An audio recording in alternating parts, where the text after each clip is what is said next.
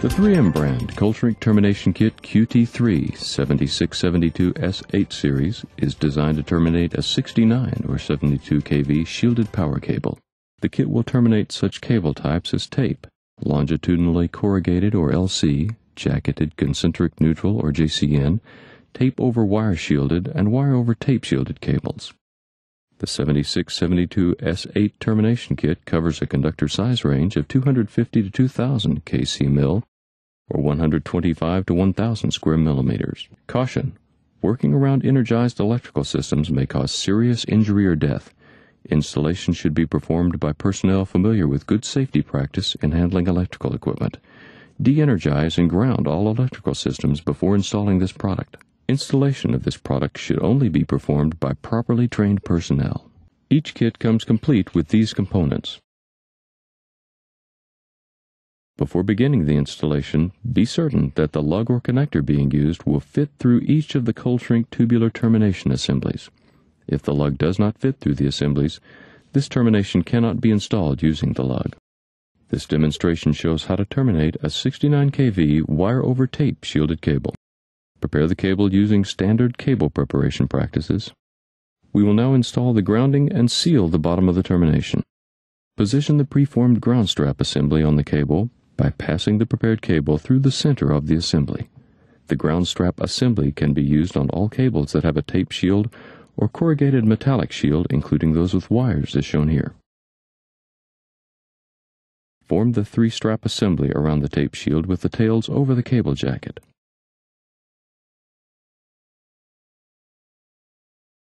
Install a constant force spring over each strap. Cinch the springs tightly.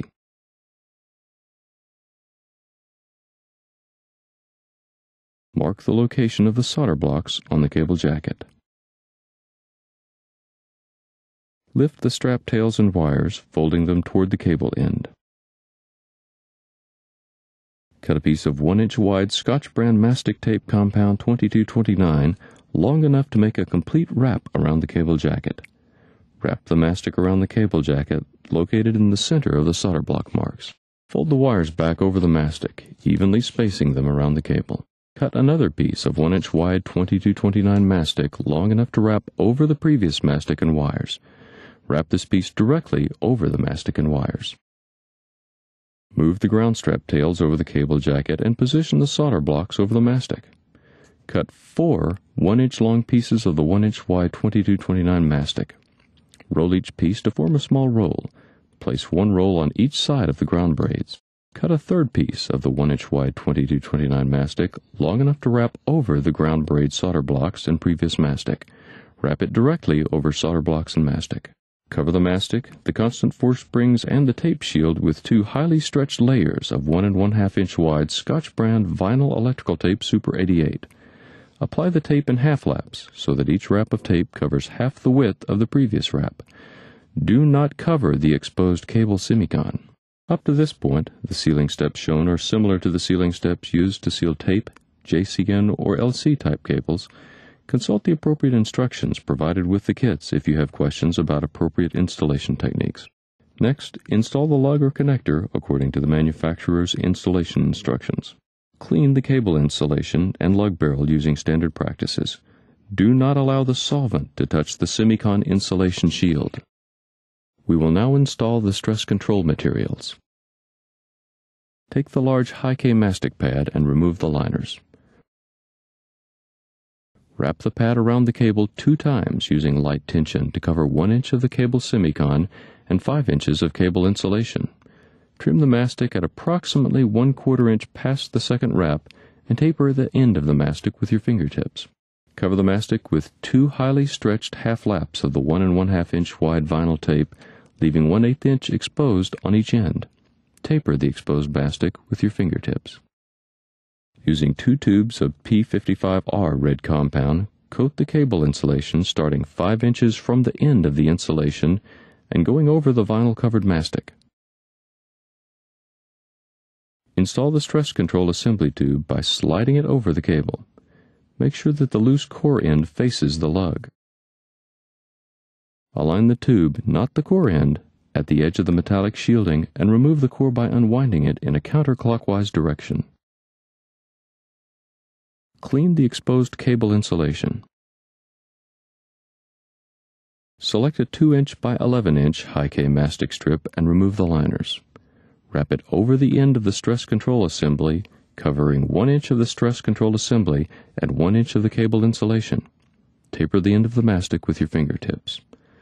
Apply two highly stretched half laps of 1 and 1 2 inch wide vinyl tape over the mastic, leaving 1 8 inch exposed on each end. Taper the exposed mastic with your fingertips. We will now install the lug seal. Using another 2 inch by 11 inch high-K mastic strip, fill the gap between the lug and the cable insulation. The mastic can be folded to fit the connector insulation gap. Use additional 2 inch by 11 inch high-K mastic strips to create a smooth transition with one layer covering 1 inch of the cable insulation and 2 inches of the lug barrel. Using moderate tension, cover the lug seal mastic with two half laps of Scotch brand silicone rubber tape 70, leaving 1 8 inch exposed on each end. Taper the exposed mastic with your fingertips. Apply one tube of P55R red compound, coating 4 inches of the cable insulation and 2 inches of the silicone tape covered mastic. Install the silicone rubber lug seal insulator tube by removing the core, unwinding it in a counterclockwise direction while keeping it aligned with the edge of the lug seal mastic. We will now install the termination silicone rubber insulation. Apply three tubes of P55R red compound. Coat the stress control assembly, the exposed cable insulation, and fill the step at the edge of the lug seal assembly. Do not coat the lug seal insulator tube. Install the silicone insulator assembly, that's the long tube without skirts, by sliding it over the cable with the loose core end first. Align the tube, not the core end, with the end of the lug seal insulator. Remove the core by unwinding it in a counterclockwise direction. Install the skirted insulator assembly by sliding it over the cable with the loose core end first.